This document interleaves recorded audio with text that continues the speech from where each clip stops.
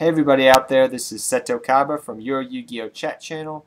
And today guys, we're going to talk about Penguin Soldier. Yes, we're going to talk about Penguin Soldier and how it's actually a good side deck option. Now, I was talking to a couple of my friends at locals and I was talking to, some friends online that play on with on Yu-Gi-Oh! Pro and uh, Dueling Network and we were talking about Penguin Soldier and is Penguin Soldier actually a decent card nowadays? Let me explain to you my reasons why I think it possibly could be a good card nowadays. Compulsory evacuation device is at 1. Penguin Soldier is a walker, a walking monster. Compulsory evacuation device times 2. So what that means is if they have two monsters on the field, you can bounce 2 instead of 1. Also, Penguin Soldier can bounce his own self back. You may say, well, how is this useful?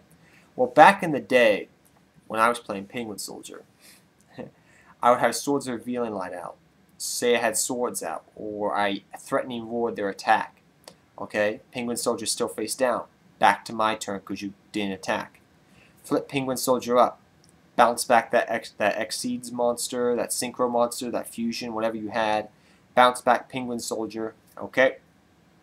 I'll keep Penguin Soldier in my hand till you get another big monster. Then I'll put Penguin Soldier down and I'll bounce that monster back too. Yes, it's a flip effect. Yes, it's slow. But it really can bounce back problematic cards. And I tried it a couple times on Dueling Network and on Dev Pro. And I tried it at locals this past weekend, and it worked. I, okay, say I ran against E-Dragons. Okay, they had two uh, Synchro monsters on the field. Okay, put down Penguin Soldier. Oh, you attack, bounce back both of your Synchros back to the extra deck. Oh, you have no cards in hand right now? I have two? Hmm, let's make a comeback happen and I would win the game. So I would maybe put one or two. Try it out. Think about it. I'm just giving you something I've been trying out lately and actually seems to be working. Uh, try Penguin Soldier out in your extra deck. If you're running against a spammy type deck, a deck that synchros or exceeds a lot of monsters very quickly, Penguin Soldier could be a viable option for you. Bounce back those annoying monsters, you know. Try it out, guys.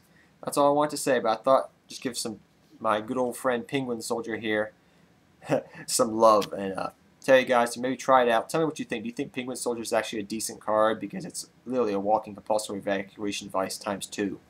But take care, everybody. Seto Kaiba, I'm out of here, guys.